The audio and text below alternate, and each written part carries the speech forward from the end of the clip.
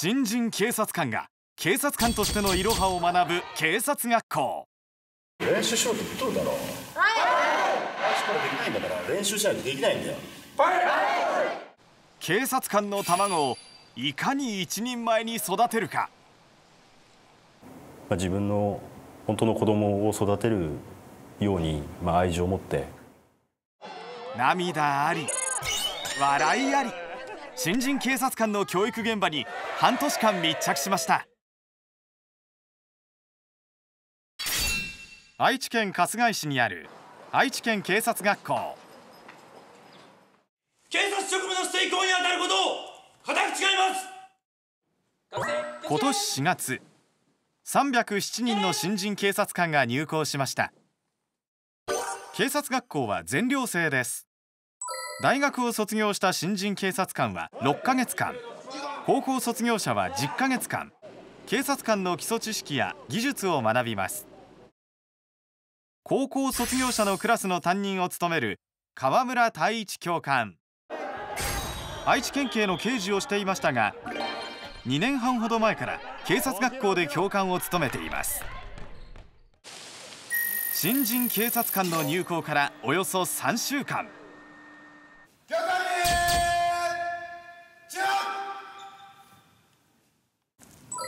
警棒や手錠の点検。警察官として必要な集団行動を学ぶ教練の授業が行われました。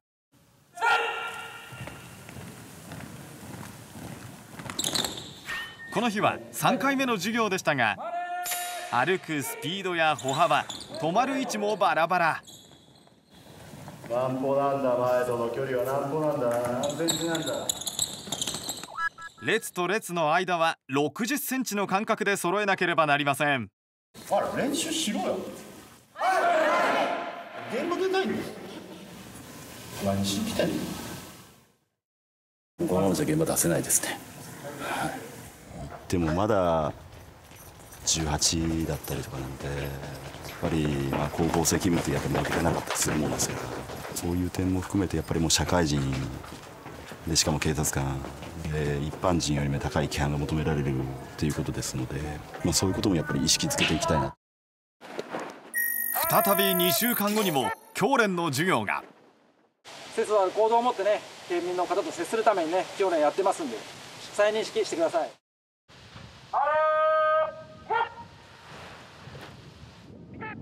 4月の頃と比べると動きが揃うように自主練の成果が現れていました。前より成長したと思う人。できてる見えないところでちゃんと練習してるなっていうことでちょっと嬉しく思いました。ここにいる25人で揃えることによってそれが意味がある。それが教練だもっと練習したい。自分の教え方に悩むこともあります教え方これでいいのかなだったりとか前言ったことをやっぱり守れてなくて叱るっていうことがあるのでいつも自問自答はしてますね。長いですね。まだ全然ですね。ゴールが見えないですね。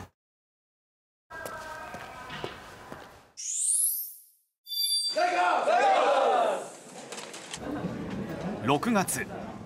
並んで昼食を食べる川村教官のクラス。この後は特別な行事があるといいます。体育祭があります。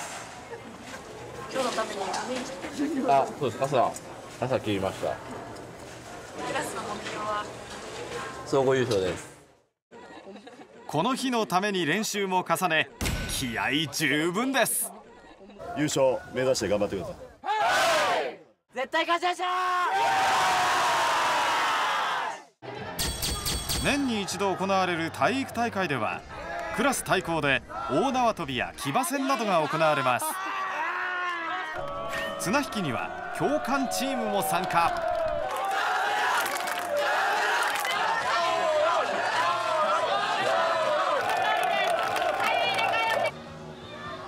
体育大会終盤に行われたのは10人リレー。今何何でした今2位です。2位です。2位出た。このまま行ってくれるといいですけどね。しかし。リレーを走り終えて泣いている新人が。川村教官のクラスに所属する杉浦巡査です。なんか足音聞こえなくてあ後ろから、ろからリレーで。気づいたら抜かれてて自分が足引っ張ってる感があってちょっとそれをクラスの人に言われたのもあってちょっと悔しかったです。結果は総合準優勝に終わりましたまあいろんな性格だったり考え方を持ってる子がここに集まってるのでまあいろいろ感情的になったりぶつかったりとかも当然ありますしただまあみんなでまあ支え合って助け合いながら、まあ、今育ってるところではあるので。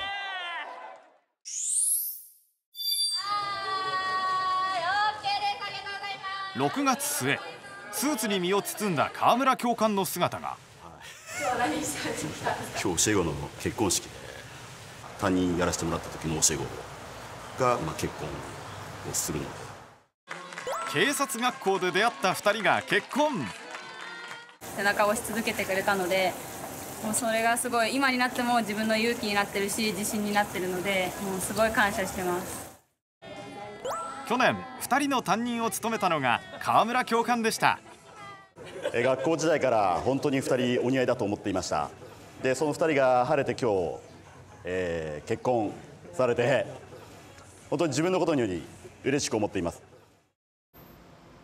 新郎の尾崎巡査は江南警察署に配属され交番などで勤務しています。川村教官に教えてもらい現場に出て意識していることがあるといいます。市民の方が警察にと通報など要望があるときは何かしら警察にたとし助けてほしいっていうことがあると思うので市民の方が困っていることに寄り添って心が落ち着くようにできればなと。今日は捜査に関する授業が行われます。警察学校の敷地内に模擬家屋があるんです。一般的な一軒家が敷地内にあるんですね。浜田アナウンサーも制服を着て捜査の授業を体験しました。警察学校の敷地内に建てられた模擬家屋。侵入棟の捜査などをよりリアルに学ぶときに使います。じゃあ空き巣の現場に行くことになりました。どういう点に気をつけて現場に入る？意見ある人長谷川。はい証拠の保全でだな証拠のやつな。いい。現場はもう証拠の宝庫だから。川村教官は自身の刑事の経験を生かして捜査のポイントや心得を教えています。座学だけではなくて実践的な授業が行われるんですね。なんか見つけました？そこの窓の下に。窓の前にドライバーが一つ落ちてますねガラスが割れているようです。ですからもしかしたらここでここから犯人が侵入したという想定なのかもしれません。まずは侵入方法を推測します。何を使ってんの？で下見るとマイナスドライバーが落ちてるでしょ？これを使った可能性がやっぱ高いよね。教えているのは基礎的なことだけでなく本格的な捜査もじゃあ実際に軍手の痕跡ある？つぶつぶがある軍手の種類によって後の残り方も違うといいます。軍手の跡がついてら指紋取れないでな。残念。それじゃないんだよ。犯人は軍手使ってやってると分かっただろ。いい。それが一つ分かったんだから一歩前に進んだんだよ。さらに室内に入るとで中入った時に確認するのが即石ね。これハイパーライトっていうんだけど強い光が出るライト。いい。で即石を見るときは遮光線って言って斜めから見てる。実際に特殊なライトを使い足跡を探します。いい。こっから窓割って入って物色する。金目のを取る。でそうしたら即石を確認するとどういう動きになってた？足跡が窓の付近から始まり玄関に向かっていることを確認しました。授業の最後新人警察官たちに教えたかったことは？現場に行ったら一つ一つ丁寧に全て拾うんだよ全て。いいこれぐらいでいいだろう。まあ疲れたからいっか。じゃあないんだよね。いい。自分たちしかできないんだから。自分たちが実際に自分たちが被害に遭ったかのような気持ちでやっていくんだよ。いい？はい、はい。授業を終えた浜田アナウンサーは。本当にみんな前のめりで本気で実際に事件が起きた時のことを想像して授業を受けているんだな。警察官としての人柄も育てる場所なんだなと思いましたね朝から夕方まで厳しい訓練を受ける新人警察官。見てくれてました。話を聞いてみると。よかった。嬉しいですね。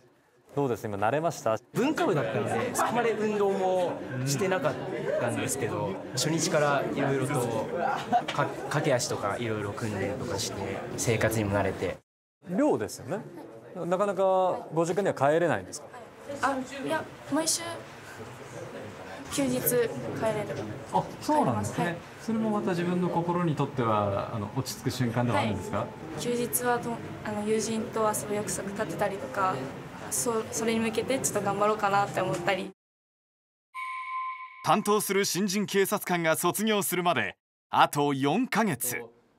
川村教官は。まあ被害者に寄り添うことのできる警察官にやっぱりなってほしいなっていうのは思いますね、まあ、これまで、まあ、私が体験したことだったり思ったこと、まあ、失敗も含めて、まあ、全て彼らに託して送り出せるように